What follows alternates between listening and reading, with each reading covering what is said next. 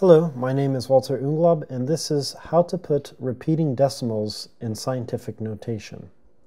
So say we're dividing a thousand by three. In decimal form, what we end up with is 333.333 continuing off into an infinite place after the decimal.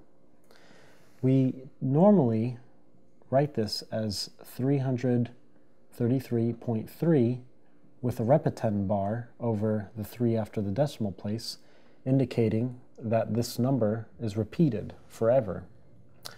We can rewrite this number in scientific notation by first considering the fact that we're in the hundreds place. So we write 3.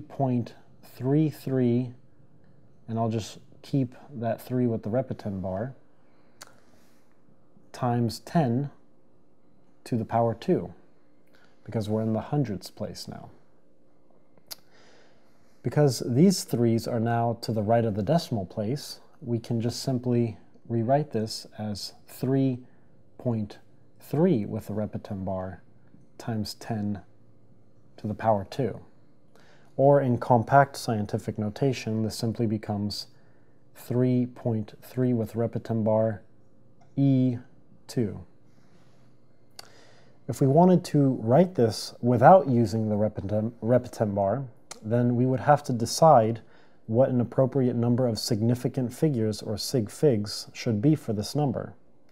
Normally, 3 to 4 sig figs is sufficient for most calculations.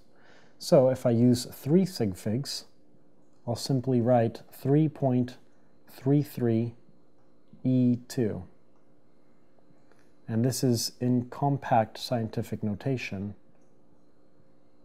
approximately equal to 1000 divided 3. My name is Walter Unglaub, and this is how to put repeating decimals into scientific notation.